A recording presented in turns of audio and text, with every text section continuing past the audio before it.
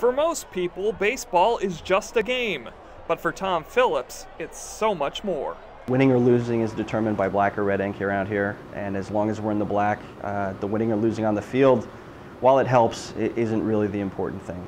The 1999 graduate of Drew is the finance manager for the Staten Island Yankees, a minor league baseball team affiliated with the New York Yankees.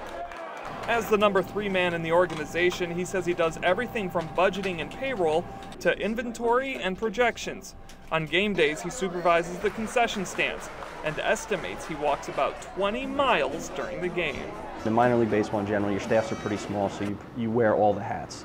Um, you know, we're all out there pulling tarp uh, when it rains. I mean, it, there's, there's nothing that gets you out of that. Um, you know, you have to wear a lot of hats, and the more you know, the better off you are in this business.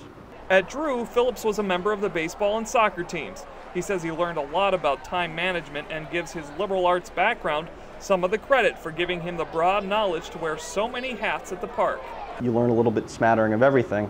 Um, nobody ever fired somebody for being too smart, so uh, you can never know too much in this business, or any business for that matter. Phillips spent time in sales for several years before deciding to make the move into sports.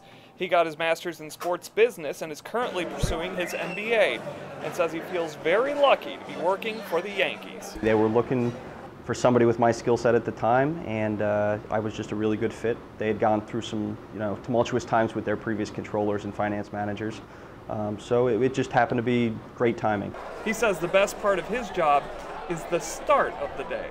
Driving to a stadium every morning, and basically that's where I get to work. Uh, I mean, you can't beat the feeling looking out. It's a beautiful skyline over New York, and uh, I get to wear pinstripes every once in a while.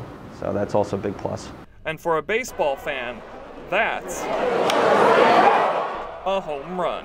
On Staten Island for Drew University, I'm Ted Johnson.